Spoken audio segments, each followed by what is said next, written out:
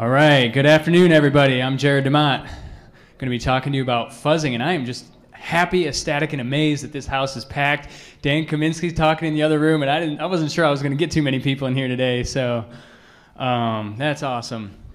How many saw Atlas or Johnny Long? Raise your hand yesterday. Did you guys see that? Who loved the video of Bruce Potter? Did you guys like that? Oh man, that was to me that was hilarious. That was just off the hook. So let's jump into this. I got a lot of stuff, so I'm going to move pretty fast. Um, the, the range of people I think in here goes everywhere. I've talked to people who don't know what the word fuzzing means, and I've talked to people that have been doing this for five plus years. So, going to do a background, current state, talk about um, context-free grammar fuzzers, talk about generic fuzzers, talk just real briefly about how web and file fuzzing kind of fits into this a little bit talk about some formal metrics and uh, kind of advancing the state and where some of my research is going with this. Um, so, for those of you who do not know what the word fuzzing means, it's basically an automated testing technique to find bugs in software. That's it. That's the short version, and there's a lot of debate um, longer about what, what else exactly it means, and maybe fuzzing is only random, and maybe it's, you know, maybe it's structured, and we'll talk a little bit about that. So, uh, Peter Oehlert from the former Microsoft says a highly automated testing technique that covers numerous boundary cases using invalid data from files, network protocols, API calls, and other targets as application input to better ensure the absence of exploitable vulnerabilities. And then the word fuzzing comes from 1990 with Barton Miller. I, I, a lot of people apparently say, I can't even attest to this personally, but for modem application tendency to fail due to random input caused by line noise on fuzzy telephone lines. So he did some research in 1990. So to get everybody on the same page, what I like to do too is just give a really quick example of fuzzing. Just up front, show what it is, and then we'll talk more in detail about it. So say we have this fake little protocol, and it's user, Jared, this a client, and the server says, okay, good user, give me your pass. Password, my lane pass, and the client and the server says, all right, cool, and then client, uh, here's here's a command. So that's that's that's the fake protocol. Now, how would you fuzz that? Okay, well, first we'll talk about just the data and then we'll talk about monitoring the server. But basically you could you could like see in loop 3 I send user Jared and he says okay and then I give some random data. So that is not truly random fuzzing, right? Because we have some protocol knowledge. We send the first leg, we get the second leg, and then we send some crazy stuff in the third leg, right? So that could be maybe just seeing how it handles arbitrary binary data. That's test one, say. Or, or maybe these tests are randomized. A lot of different ways to write fuzzers, and we'll talk about that too. Um, in the first loop, you see I send 50,000 FFs. Maybe you're looking for long strings or, again, how it handles non-ASCII data. Um, second loop, we see 12% ends in the middle of the Jared for the user name. Percent ends, we all know what that is, right? What am I looking for? Who knows? Format string bugs, right. And if you don't know what that is, there's lots of good data out there. So those are what are called attack heuristics. Sending a long string, sending a format string, sending a null byte at the end instead of a carriage return, changing the delimiters, right? These are like in a text protocol, the, the, the normal sequence of events is like string, delimiter, string, line ending. Maybe changing delimiters or line endings or chaining commands. There's a lot of different attack heuristics that should and could be built into a good fuzzer. So um, just again, so we're all on the same page with the word fuzzing, since I use it like a million times in this presentation. Um, other words, there's there's sort of like two industries that are now, I hope, colliding because I think software will be at its best when the QA world, software testing. Who does software testing? Quality assurance. Raise your hand. Anybody out there? no, that's good. I like that. And then there's uh, security researchers doing fuzzing to find bugs in software. Who's doing that? Raise your hand. Let's see. Yeah, there's more of those guys. All right, me too. So anyway, if the QA guys learn a little bit more about what the security guys are doing, things are going to get better. And if the security guys know a little bit about regression testing and some of the QA things, then, then their testing could get better too. So the word that the QA guys tend to use is robustness testing or negative testing or all kinds of other words. Stochastic means random. um, monkey, I've heard, boundary stress. Some of these are a little bit different, but they can be used in the same context. I'm just going to use the word fuzzing today. So how does fuzzing fit into software testing? If I'm Microsoft and I want to fuzz to make my software better, which if you went to the Vista talk at Black Hat, was pretty good actually. They talk about that. They do that, okay? Well, software testing, as we know, is, is difficult. It's tedious, it's expensive, it's like half the budget, but it's all we have. It's really the only way and the primary way that you have to gain confidence in your software that your software is any good pre-release. Post-release, you have this whole group of third-party security reachers that'll you know be glad to find bugs and resell them and do this whole thing that we do as an industry now.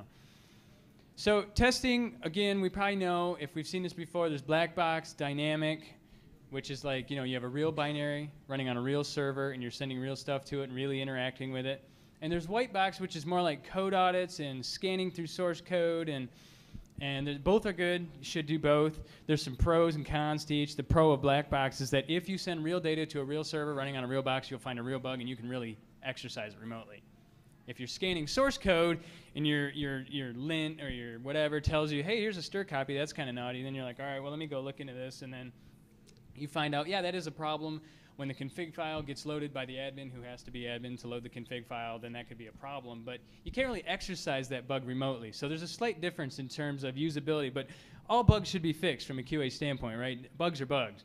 But it's just in terms of uh, attack surface, which we'll just uh, explain pretty briefly in a minute. So how does fuzzing fit into that quality assurance lifecycle or how does fuzzing fit in? We know how fuzzing fits in from a research standpoint, right? We want to find bugs, we fuzz, we find a bug, we do whatever we do want to do with it, right? But from a QA standpoint, you have formal methods in software engineering. You know, you should have this formal process of developing software, and part of that is your quality assurance group, and part of that is your testing group, and part of your testing group is fuzzing. It's just one small piece of it, okay? And fuzzing actually is kind of gray boxy. I mentioned that, and there's a lot of other testing that should take place: unit integration, blah blah blah blah blah blah. So is fuzzing better than reverse engineering? Is fuzzing better than source code auditing? Is fuzzing better than gambling? Uh, I don't know. I, I think so, but um, I'm a little biased there. So the answer is no, it's not. Okay, it's it's really not. It just supplements all those things. You should still reverse engineer. You still need source code audits. You still need testing. You still need pen tests for a lot of reasons. And one of those reasons is probably fairly obvious in that fuzzing is not a catch-all solution. It doesn't work against every kind of app. If you have this special Java web thingy and you want to see, can I go from login PHP to logged in PHP, fuzzing doesn't really do a lot for you there, right? That's more of a pen test kind of thing. Sending random data to that might help you. And actually, we'll talk a little bit about how that could be interesting, but traditionally, especially if you're looking for memory corruption bugs, which are still the majority of all the bugs out there buffer overflows, heap overflows, stack overflows, pointer overflows, you know, all these kinds of corruption, memory corruption type errors in C or C apps, that's where the goodies are. And if you have a server that was written in C that runs on a box that doesn't have any heap and stack protection and all this kind of stuff, fuzz it because I guarantee you'll find an 0day in it. Well, not guarantee it, but there's a good chance there's probably some bug in there somewhere. Okay, so there's a lot of people that have been doing fuzzing for a lot of years actually, and when Miller first did this thing in 16 years ago in 1990, I don't know if anybody really cared about his research. He didn't get much academic respect because all he really did was basically take a random stream generator and pump those bytes to like LS and other Unix utilities.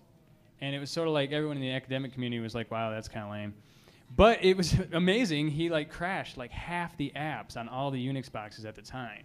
So um, things have gotten better since then. You can't just send truly random stuff anymore. It won't help you a whole lot these days. It could, but uh, it's been fuzzing has been effective for a long time, and we just saw the month of browser bugs, right? We all know that. So fuzzing is doing its thing. Still, it's alive and kicking. I'm making a living doing it. So, yeah. Um, Okay, so who who does this fuzzing thing? Software companies ought to be doing this, and I think they are now. Probably starting about a year ago, they really jumped on this bandwagon and said, "Hey, we're getting killed. The bad guys are they're fuzzing and they're finding bugs, and we got like a multi-billion-dollar budget, and we're not finding them. What's up?" So they're fuzzing. Um, vulnerability analysts are fuzzing. Uh, soft fuzzing companies are creating fuzzers to sell. Okay, I don't know exactly how many fuzzer companies are out there.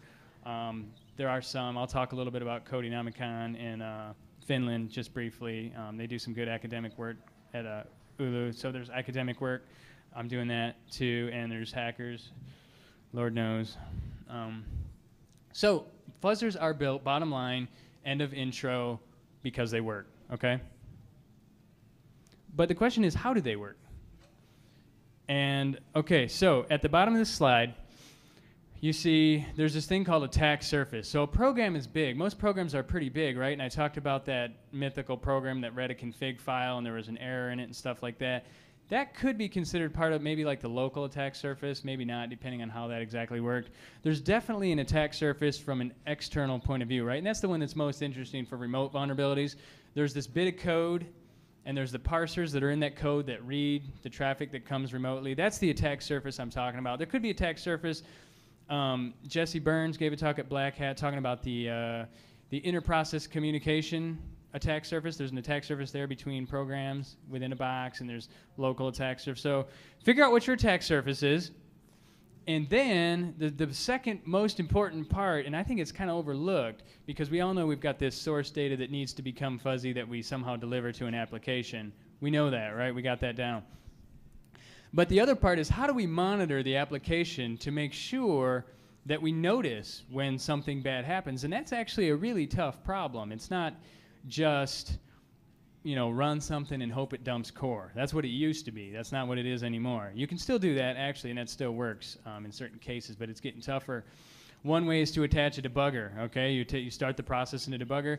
That can be tricky too because some processes are really hard to start in a debugger. At the end of this, I'm going to give a demo on a tool that I wrote and I'm gonna, um, it's on Dovecot. Dovecot's the application I'm gonna run GPF against. GPF's the fuzzer I wrote, general purpose fuzzer.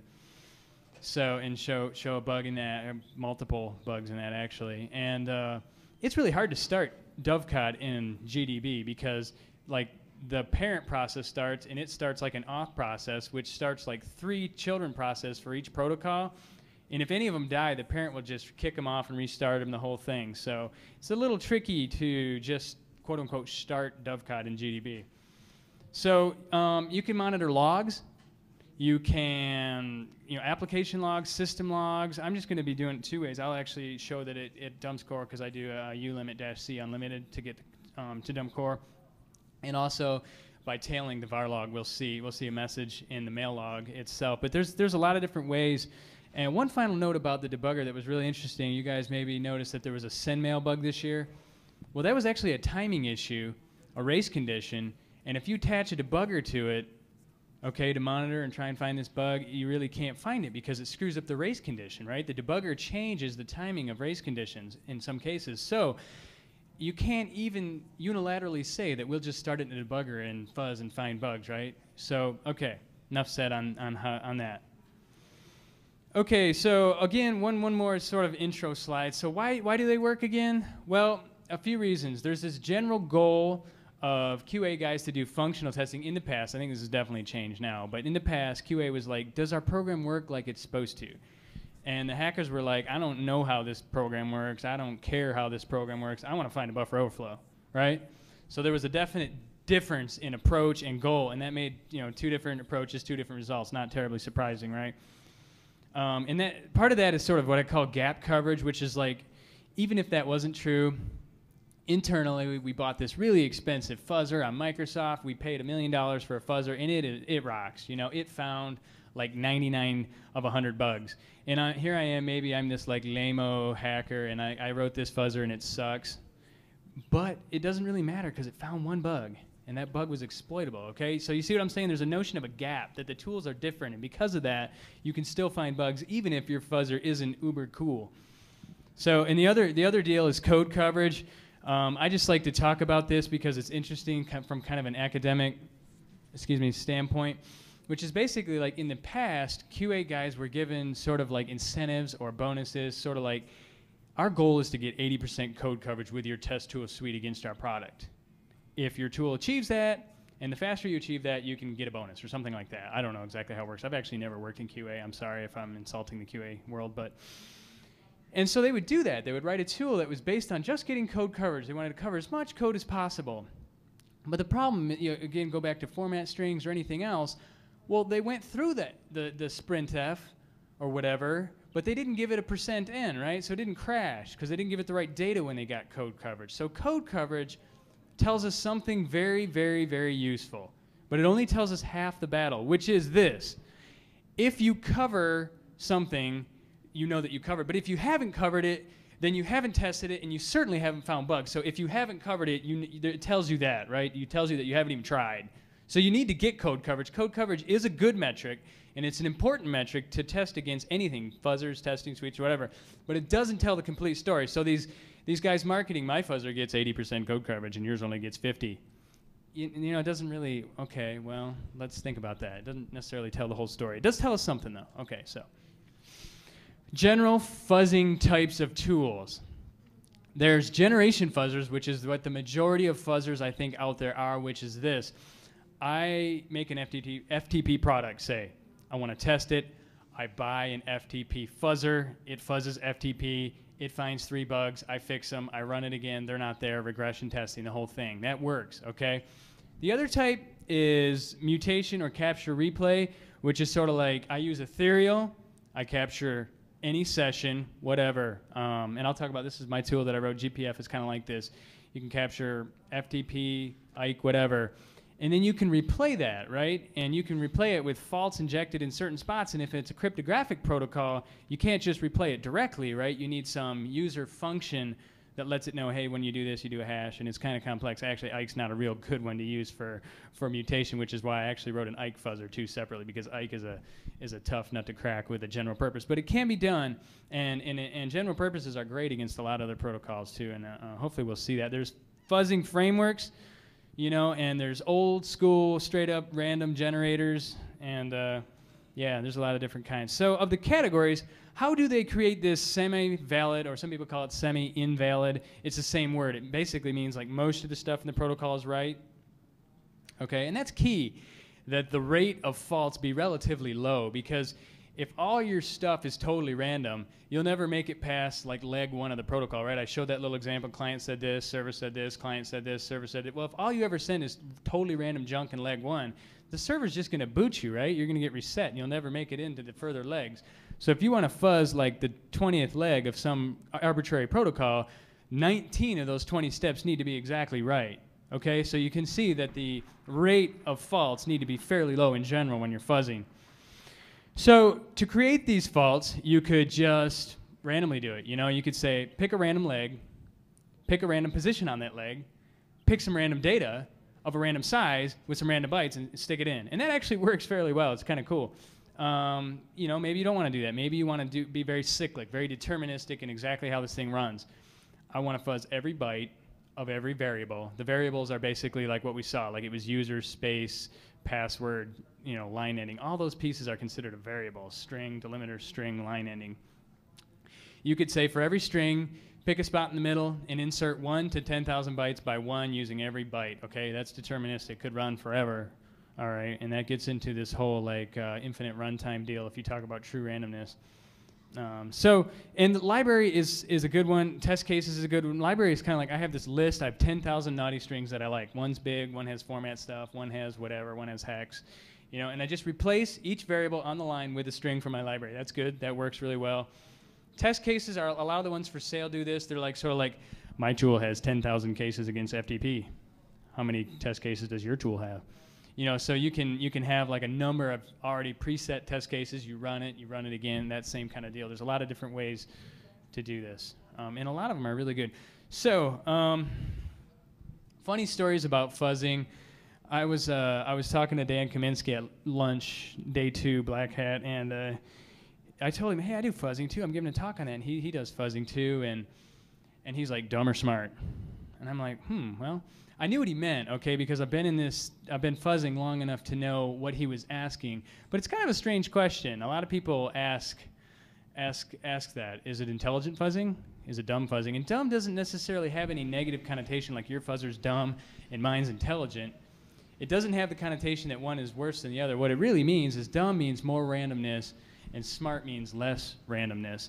And either extreme, sort of like in politics, right? If you're way on the left or way on the right, you know, you can get you can get lost. But if you're there's sort of that line of holiness right down the middle that we're looking for, and fuzzing's kind of the same way.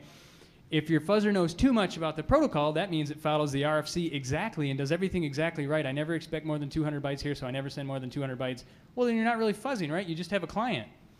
And if it's totally dumb, totally random, we already talked about runtime's infinite, and you're not going to get anywhere fast. So you want something in the middle. Faults relatively low. We've talked about that.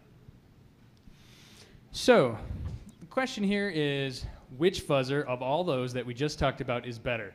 Commercial, open source, um, generation, generic. There's actually really no research done on this, and it would actually be a really good research problem if somebody else was looking to pick up a PhD in fuzzing. I, I, this would be a great problem. I mean, code coverage, for instance, could be a metric. You could say, well, one, fuzz, one fuzzer gets better code coverage than the other, but what we, like we talked about, that doesn't give you a complete picture. Okay, and you could say, well, number of bugs it finds. That's actually a fairly good metric, but it's fairly hard to determine against software that hasn't been tested yet because you really don't know if there's bugs or not, right? So you could, you could take software, you could maybe write software that only one person knew of the bugs that are in it, and the people that are fuzzing don't know where these bugs will be, and you could maybe have kind of a shootout. That would actually be pretty sweet. Um, nobody's done that. Okay, so that's all the intro stuff, and we're going to go into context-free grammars. I'm not a context-free grammar expert. I admit that. Um, I've never written a fuzzer that uses context-free grammars, but the people at Oulu University Secure Programming Group came up with Protos. I know you guys have probably heard about that if you've been fuzzing for a while, and uh, they did some really good research on that. And I'm just kind of gonna I'm just gonna gonna blow through this pretty quickly and not really um, talk about how you know the BNF language and all that all that stuff works. But basically, here's an example. You can properly and completely define a protocol using context-free grammars. Like transfer is a read or a write. A read is a read request and a reads. A read request is a null or one a file name. A file name is a character. A character is a one through seven f. Right? You can you can and if you want to write a fuzzer that does context-free grammar fuzzing, you could say basically do this right thing or do this bad thing. So here's the here's the description that's normal, but 30% of the time do this thing that's not normal. Okay, and you can just iteratively define a protocol with those kind of faults injected in that way, and that's actually a really a really good way to do it. So Protos talks a little bit about their, their interface roundup. There's a lot of data on this slide. My slides are on appliedsec.com, my tools, my slides, my paper, uh, everything's there. Um, go grab it. In fact, you want to grab my tool off appliedsec.com, not off the DEF CON CD because it's slightly updated. So um, one of the things that I liked about the, the third point of this limitation of vulnerability testing is what I talked about earlier, that not everything can be monitored. It's really, I think, somewhat impossible to monitor the server in every scenario. If you attach a debugger, you could miss a race condition. If you don't attach a debugger, you're probably going to miss some other bugs. If you're just looking at logs, maybe it doesn't generate logs all the time in certain scenarios if you're looking at CPU utilization, memory utilization, you can catch some kind of runaway integer. You know, there's a lot of different ways you can monitor the process, and ideally you do it all, particularly if you're serious about finding bugs in some given app. Um, and I like this just because you talk about like biology kind of mixing into the computer science world. They talk about their tool having basically a pesticide paradox against given software. That is, if they have a SMTP fuzzer, they run it against a SMTP server, it finds 10 bugs, you fix the 10 bugs, you run it again, they're gone. That software is immune. Okay, and all tools are like that. And one of the cool things about like my tool in interjecting randomness is it has a seed for that random value, right? So in my tool, you seed it, and there's definitely randomness throughout. And if you want to replay that exact session again for regression testing, use the same seed. But if you want it to be randomly differently, seed it differently, and you can potentially maybe get some different results. So, um, you know, there's varying mileage varies, sort of, so to speak, on that kind of stuff. So, into a little more of, of my specialty and where kind of some of my research has gone um, is, is in generic fuzzing which is a general purpose fuzzing. Um, there's another guy that wrote a tool, Martin Vuagnoux, called Auto AutoDaFe that I'll talk about that he has not released yet, but apparently intends to do so. So automatic protocol detection, that's what I talked about before, capture session with Ethereal, convert it to a neutral format. That's a, that's a good thing to do because libpcap files are not all that easy to modi manually modify. Convert it to some text looking format, even if it's binary data, you can do this, all right? And you'll see that if you play with my tool and like say you captured a stream of an FTP session, but you know you screwed up your login name or something like that, you can just change it in the file real quickly to the right password, or the right username. You can get obviously different tests, different pass through the code, different coverage depending on exactly how well your fuzzer understands the protocol, how much protocol knowledge and how many various um, iterations through different state spaces that it, it, transfers. So that's a nice thing to have, the ability to do that. And I use that all the time. In fact, sometimes if the protocol is simple, like in the case of the example I'll show you with IMAP fuzzing, uh, fuzzing Dovecot, I didn't even capture a session. I just created the, a, a quick protocol description in a text file the way that the GPF expects to see it, and you can just fuzz directly from there with it. You just sort of give it the protocol knowledge. And, and it's very simple because the bugs I found are pre-login, so I just gave it basically the 12 valid IMAP commands or something like that and told it to go to town, right? So there's there's there's ways that that can just be uh, really and, and good good good generic fuzzers should be able to based on any given capture should be able to fuzz either in the server direction or the client direction, right? Both are important. and should be able to fuzz either way pretty easily. So um, attack heuristics, we've talked about that. Long strings, weird strings, format strings. Um, intelligent randomness, we've talked about.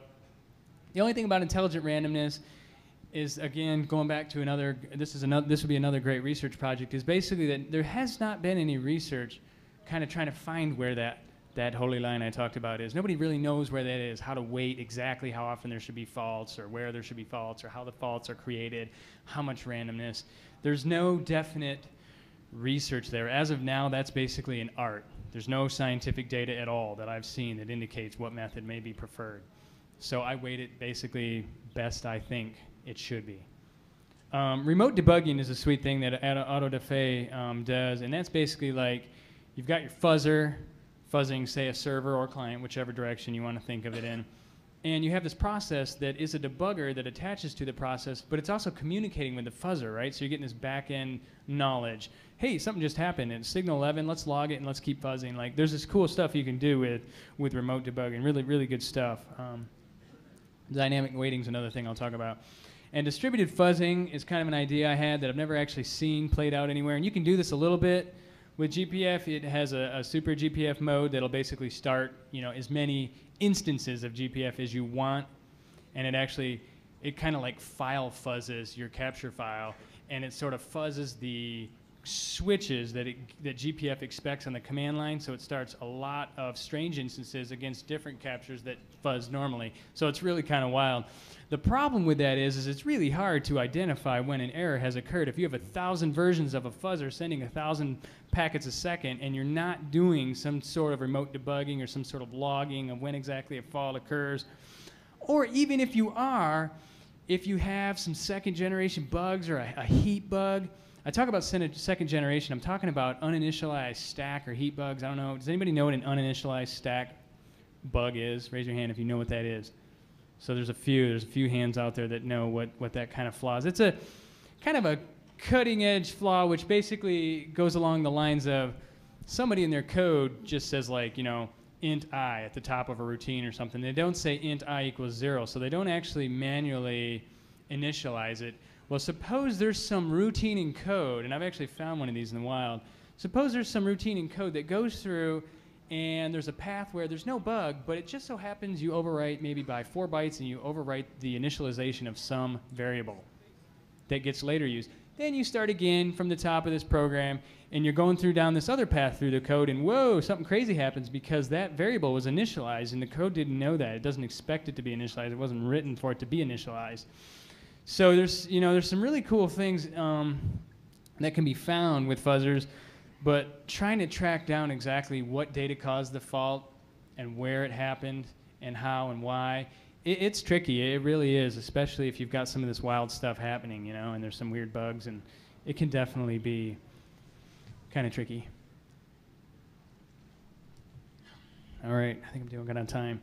So briefly, web and file fuzzing basically, we'll talk just real quick. How is web fuzzing different than, say, fuzzing a standard C type daemon? Well, basically, it's just this. If you're fuzzing an HTTP server like you want to find an 0day in Apache or IIS, well, good. I'm glad that you're looking at that, and good luck to you.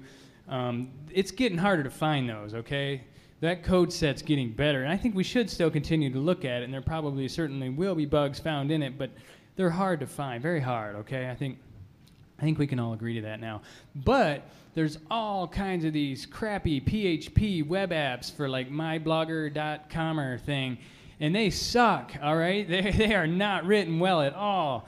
But the question is, how do I find there's these, has anybody heard of a file inclusion bug? You're looking for, there's a few, file inclusion. You guys know what that is? So it's kind of a pen testing sort of thing, trying to find bugs in web apps. and a fuzzer that's just basically sending semi-valid data, watching Apache, waiting to see Apache die, you're going to be waiting a while, okay?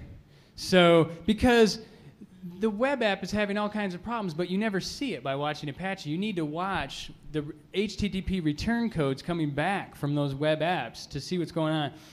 And uh, I actually have not written a tool that does this, but I used SPI Dynamics fuzzer called SPI Fuzzer just a little bit, and it's kind of slick. It's it's not.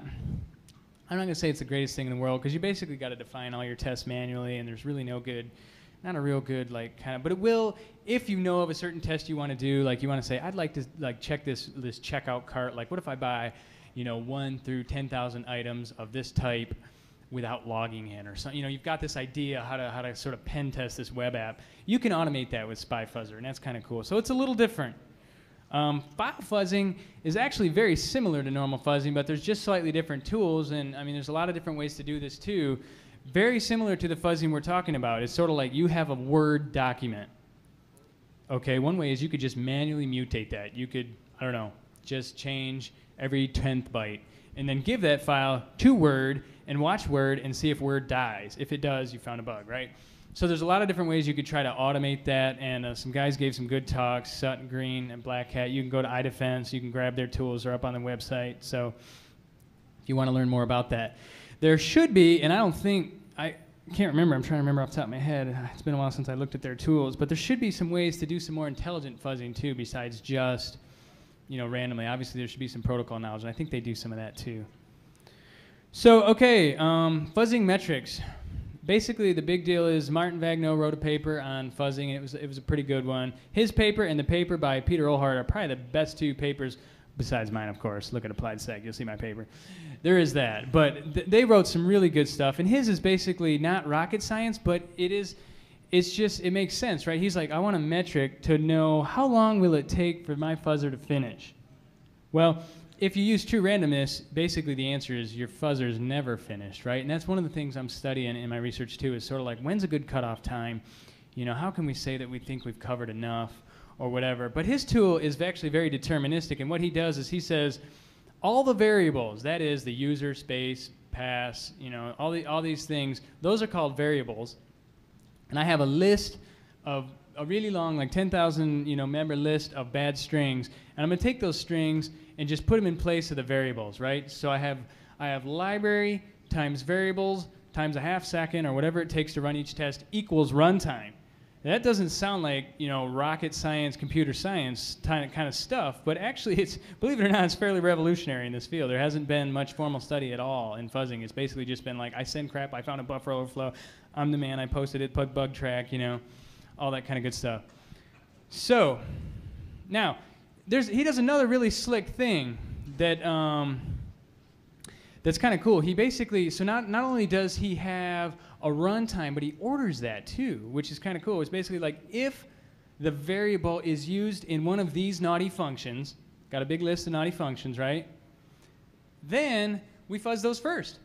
Again, not rocket science, but pretty revolutionary, you know, in terms of fuzzing and the way he the remote debugger uh, relays that to the fuzzing tool itself. So pretty good stuff. Um, you know, there are some issues, obviously, of course, with the fact that, you know, maybe more randomness could be good for second generation bugs. Maybe uh, Windows Vista says this whole list of naughty functions shall never be used in Windows Vista. That's what they said at the talk at Black Hat. They have ways of, of completely eliminating these from the Windows Vista source code altogether. So in that case, it doesn't really help us all that much waiting, wait rise, right? Um, and of course, attaching a debugger, which is a must for this kind of stuff, could potentially make you miss. You know, it's sort of like attaching a debugger is great for 95%. There's that 5% of race conditions or something you could miss. Um, so, um, basically, some future research. My thoughts are kind of like I like to combine those kind of things that are out there, like like Vuagnoux's approach with with my tool, my approach, and even kind of basically the approach is something like this. Let's do some deterministic structured stuff up front, and if you don't find any bugs with careful inspection, then you can sort of open up the throttle, right? You can you can introduce more, you know, randomness per byte or more more junk. Basically, you can kind of throttle back and let it run longer if you have time to try and find more of those second generation kind of things. And then um, really surprisingly to me, I went to Sparks, Embleton, Cunningham, their talk on Sidewinder at Black Hat. Great talk. They talked about using genetic algorithms uh, in fuzzing, and I actually taken a genetics algorithm class this fall. I was planning to do research on genetics algorithm, but I was happy when I saw their talk. Now upset because they laid a great groundwork to kind of get started in how some of this might might be used. As of yet, their tool wasn't super like useful against multi-leg protocols and stuff like that,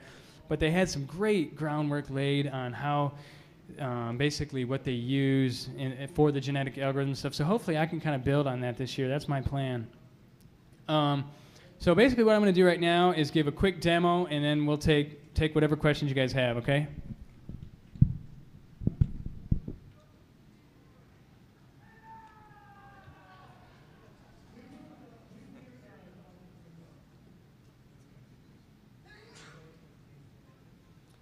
All right. Um, this is the only time wireless mics are really kind of handy.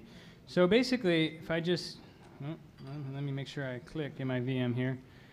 Cat, all three. Um, what I'm going to show you again is just I'm going to run my tool against Dovecot and show you some bugs that I found. I was not able to take these bugs and turn them into 0days, but it's like a take-home assignment for y'all. If you're smarter than me, uh, see if you can take these bugs and turn them into 0days. Good, good luck with that. So they're pre-login. And you can see GPF, and then I got pre-login fault one. It's basically just going to run um, a capture file that I have. And if I cat pre-login fault one, um, okay, dot, there we go. So you can see what a capture file looks like for me in my neutral format. It's, it's not in libpcap. It's basically like source means it came from the server and you can reverse that easily when you run the tool. The size is 5, and the data is basically zero five, and then probably like a slash r slash n and an all or, or whatever the data actually is there. So, so that's just what the capture file format looks like. It's real simple. It's real straightforward. It's simple to modify if you wanted to change that a little bit, change the byte, change the size. Okay, no problems there. Um, so what I'm going to do is I'm going to get ready to run a couple versions of GPF. And the switches that I showed you, you'll have to check out the README. It's fairly good documentation, I think, for a README.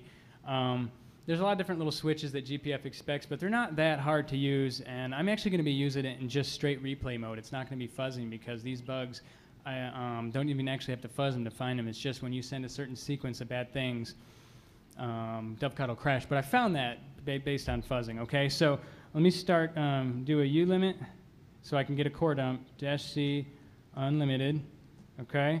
And then start dovecot. The server should be running. So if I go over to, this is a tail, tail dash F of var log, mail log, we see the entry dovecot starting up. So the question is, what happens if, if I do a ps dash ef grep dovecot, what happens if I do a, this is the thing you need to do before you fuzz, by the way. Never fuzz until you've done something like this. You need to figure out what will a fault look like to me. Will I be able to see it in logs or not? Will I be, you know, be able to get, what am I doing? Oh, I, I need to, I'm talking while I'm trying to do this. So I'm just going to put in a PID. So if I kill dash 11 dovecot auth, who thinks they know what will happen? Does anybody know? Take a guess. Who, who thinks they know what, what's going to happen if I just do this?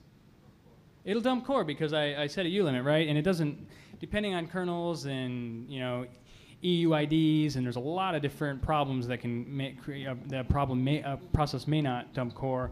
But um, when I do that, it does dump core. See, there's a core there. Let me remove it so it's not confused with a different one. Core.297. And if I do the PS again, we see that dovecot auth is back and it has a different PID, okay? So we know that the Dovecot um, watch daemon will restart it. And we see in the log, see what we see in the log? We saw this child was killed with signal 11. Okay, so pretty straightforward. We know what to expect. We do that before we fuzz, right? Okay, and now we actually um, will send it. So I, I, run the script. Here's GPF. It's running. You see client server, client server. It's sending data. Sometimes it prints in hex, and sometimes it prints in ASCII. I don't know if you, you noticed that. Let me um, page up just based on what it sees. If the first few bytes look like they're binary, it'll print it in binary. If the first few bytes are, you know, ASCII, it'll print it in ASCII kind of deal. So pretty pretty straightforward, but pretty cool stuff. And then you see like couldn't read socket negative two, right? So that means that there maybe maybe was an issue. And if we go back and look at our log, it's like, oops, what was that?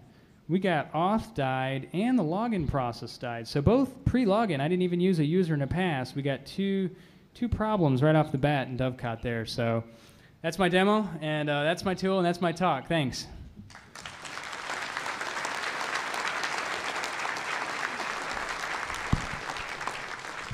I raced through that because I wasn't sure if I was going to make make it through that. So, do we have any questions? Anybody have a question? I think there's a microphone. You want? Go ahead. You want to step up to the mic or ask it from there? Whatever you like. Yes, you have to go to the microphone. He said. How are you doing your tokenization to differentiate between strings so that you know where to fuzz? Well, that's a good question. Um, GPF has a few different modes. You don't have to tokenize, right? GPS ha- GPF has lots of different modes, and if you see that in the in the README, you'll see like you can just tell it to do some cyclic stuff, like just insert large strings or or just insert format strings and do it only in this leg and do it only in this position. You can do a lot of different stuff, or you can run it in a dash P mode, which I call pattern matching, which is tokenization and it'll basically do what you say. It'll say, okay, this looks like there's a string here. Okay, and you have to actually tell it on the command line what a delimiter is. So it says, I'm expecting strings to be this. I expect a delimiter to be a space of one byte long, and I expect a, a line ending to be a slash r slash n. So once it knows that it expects that that's the pattern, it'll just find that, and based on that, it'll do different things for delimiters and line endings than it would for data. So does that answer? Okay, great. Um, have you reported the uh, uh, problems you found to the Dovecot people, or Um, I reported a couple. did you get any response? What's that? Did you get a response? Yeah, actually, um, yes, I did. So they're gonna put out a fix. These uh, particular bugs, I don't know if they're fixed in the newest version or not. I really don't. I, I leave that as an assignment for y'all to have fun with. So, okay. And did you play with the uh, Dovecot Pop 3 daemon at all? Did I what? The Dovecot Pop 3 daemon. Did you try fuzzing it? Yeah. I did. I fuzzed that a little bit too, and I didn't find any problems there. But again, you know, there's a lot of different modes. I've Sure. added some stuff since then, so I say fuzz away. Okay. Thanks. Yeah, no problem. Dovecot has actually had a, I, I found a new a number of problems. Um, one of the problems was actually Pop 3 that I reported that was fixed, but that one's fixed now. So Just uh, with genetic algorithms, I mean, the key is the fitness function, obviously. Yeah. And uh, it seems like you either crash it or you don't crash it or you get garbage out when you shouldn't get garbage. So, how That's- do you define a useful fitness function? Because it doesn't seem like the search space is that fine grained. Yeah, that's a, that's a great question, and that is the problem. And if you, uh, I don't know if you were a Black Hat or not, but uh, they they talked a little bit about that I in missed, the, I missed the talk. That I wasn't at Black Hat. That's otherwise it's prob- potentially already answered. But I just Yeah. thought since you're you, you're talking about using it, I thought you might have a reasonable answer to that. Yeah, yeah. Well, well, there's a lot of different fitness functions, right? One th- they they mentioned was basically like a point in the program. If we ever get to this point, then that, then that's fit. So the the code pass or the data that allows us to get closer, excuse me, to this code path are more fit than others, and they do that by setting breakpoints on everything along the way to that and checking the data. So the data could be fit based on that, and there's probably a lot of other ways you could you could generate fitness, and that's really one of the things that I'm going to be studying. You're exactly right, because even once you do that, it's sort of like, well, we found data that was fit and it made it to this point. Well, that's great, but it didn't necessarily crash it, and it didn't necessarily find us a bug, right? So we got to find a way to work that in, right? To finding data that's fit in the sense that it's problematic. So how do you pick those points? I mean, like in kernel hacking, there's obviously a bunch of places where, quote unquote, we should never get here. I mean, is that type of location that you think about, or I mean, I mean, and uh, obviously that's harder if it's a closed source application. Yeah, that's a really good point. Well, one of the things you can do is you can pick, um, potentially going back to that list of naughty strings. If you, you know, throw it in IDA Pro and you find that oh, there's there's three strcpys here. If we ever make it, can we make it to this strcpy? That's a good question, and that actually is a really useful thing to know from a remote. Does this attack service ever lead us to this somehow? Right. So that's kind of a useful thing in that sense. Okay, so, so so that is potentially automatable. If there's a s- set of functions that are potentially vulnerable, then you can uh, effectively automatically pick those out, then use those to predefine a set of fitness functions. Is that kind of what you have in mind? Yeah, yeah. There's probably a lot of different ways. So good question. Thanks. Hi. Um, how do you get around um, code that inherently rate limits you? I'm sorry. Can you say it one more time? Yeah, how do you get around code that inherently rate limits you?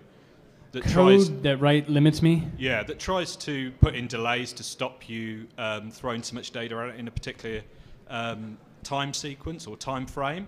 So a lot of authentication protocols will, will actually put in delay and back you off. Yes. So yes. is that particularly easy to get around? What, what the what the issues are? That's a great question. Actually, a really, really good question. Timing is a huge issue when you're fuzzing because if you fuzz too fast, this fuzzer just may blacklist your IP, right? Or the, the, the, the server may just say, oop, this guy's doing something weird. I don't like him. That's a great question. And that's a problem you run up against. Uh, one of the parameters that you feed GPF is timing. I default sort of have it at 1,000 milliseconds per leg, but you can back that way off if you need to.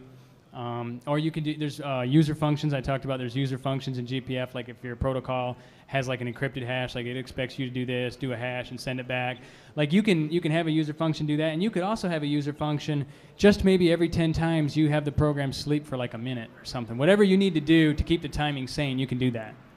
Yeah, th- thanks. Good question. Any more questions? All right, well, peace, blessings, and good luck.